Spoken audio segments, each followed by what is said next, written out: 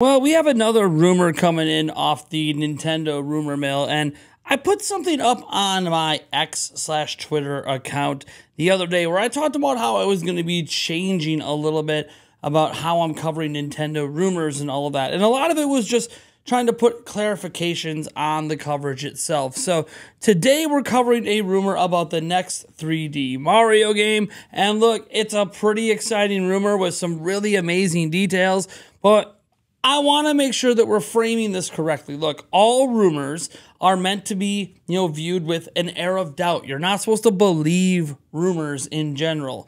Despite that, I have now created what I am calling, at least tentatively, this is hardly final, the rumor believability scale. And this is going to be based on whoever is the source for the rumors. Now, today we're talking about Zippo. And you know what? Here's the scale. Yes, as you can see, Zippo is in the wishful thinking category. As you can tell, that means we probably shouldn't believe anything that Zippo has to say. We should just treat it as a fun conversation point, but it is still a rumor because I can't verify what he does or does not know. Also, he did tend to get a bunch of stuff correct with Super Mario Bros. Wonder, so does he have a source on Mario? I don't know. But we're going to go ahead and take a look at this stuff just because I think it's fascinating to think about. And it does get us talking about the next 3D Mario game. So as you see here, uh, yeah, we have some pretty cool stuff going on. So Zippo says the next 3D Mario game is ready to go, which isn't a surprise if the system's coming this year. Chances are the game is done. Anyways, it says 2024 is here, and after an insanely long six years of waiting, I'm now hearing that the next 3D Mario, set to launch with Nintendo's brand spanking new console, was finished over the holiday season. This is standard Nintendo practice. Many of their big games are done well before a release. I mean, that's pretty typical for them. As was said before, this is EPD Tokyo's first full attempt at an open world game, and the game is said to look absolutely jaw dropping. I can confirm a few other new things as well. Donkey Kong will appear in the game in some form. I'm unsure if he's playable, a boss, or an extended cameo of some sort, given how Mario and Donkey Kong have appeared as a pair in pretty much everything as of late, which includes the movie, Lego sets, a remake of Mario vs. Donkey Kong, and now in theme park promotions, it only makes sense to continue that trend. Luigi, Peach, Captain Toad, Pauline, they'll also appear, though I'm unsure what roles they'll play in the game. The other, much bigger detail is that the game is freaking massive. The game's world is set to be at least four times larger than Odyssey's environments combined. Holy crap. The craziest part, you're going to be playing this game in nine to 10 months. I don't know if he's telling us what Switch 2 is coming there, but take that for what it is. I'm psyched out of my mind here. It won't be too long until Nintendo starts to give details about their next console. Just wait a bit longer. We're almost there. More soon. Now, look, again, this is the wishful thinking category, so I don't necessarily believe wholeheartedly a lot of the stuff he's saying. Some of it's a pretty safe guesses. Oh, Toad, Luigi, yeah, they're probably playable characters, right? Oh, Pauline, okay, Pauline's in the game. Pauline was in Odyssey, so sure, proved to be a pretty popular addition. Look, Donkey Kong being in the game in some form. I would have been more, you know, I, I kind of wish you would have went with more specific details, like playable character or a boss or something.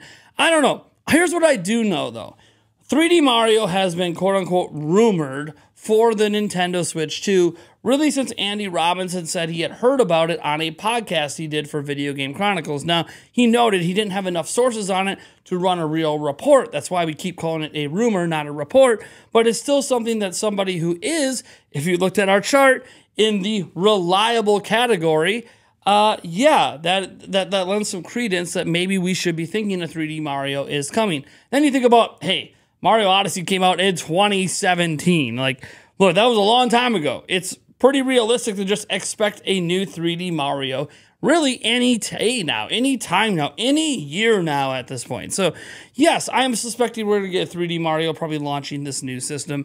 And look, the idea of it being open world has been floated out there for a long time, and it makes a lot of sense. If you think about obviously the popularity of open world games, you look at the fact that Mario itself has always been sort of an open zone game, so it's not a huge leap to go from open zones into open world, right? It's not a massive leap to do that. And on top of that, they experimented with open world with Bowser's Fury. Now, again, this doesn't mean they're going to go with an open world. They could stick with the open zone concept. It's not as if many people think the open zone concept is broken, but it could create a more connected world, could make things even crazier. Imagine traveling to a point where you somehow get to the end of the game before you were supposed to.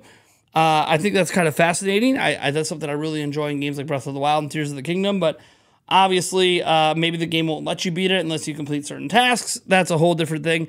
I don't know. I'm just really excited for this next 3D Mario game, whatever it ends up being. Now, the one thing he brought up, and again, remember, wishful thinking, four times larger than the totality of all of the areas in Mario Odyssey combined.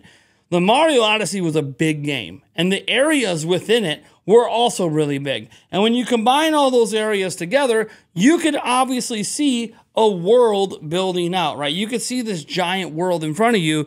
And now imagining that is something four times larger than that, I I'm not even sure I can wrap my mind around it. I'm not saying that Mario is like the biggest game ever. I've played, look, go play World of Warcraft and look how much land and how much there is in that game. Like, clearly, I've played in worlds that are significantly bigger than anything Zelda or Mario or any Nintendo game has given us. But for me, for a Mario game, it's so hard to imagine a world that big. Like, what would be the point, you know, of the Mario world being that big? Unless there's just some really cool fast travel mechanics. And that could be an excuse to have the world be so big. I don't know what those fast travel mechanics would be, whether it's warping, whether it's star riding like Kirby style, uh, whether we get to ride on trains or something else. I don't know. But obviously, it is something to consider that if the world is that big, there would have to be a fast travel mechanic of some kind. Otherwise, it could be a bit tedious to get around in. And then if the world is that big, and, and this is maybe the strangest concern I would have, but also I think a realistic one.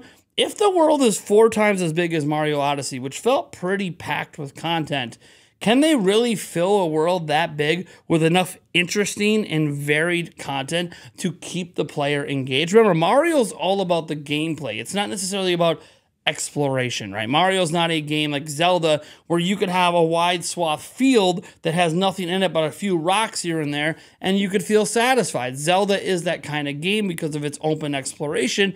Mario's more about interaction and gameplay almost at a non-stop pace.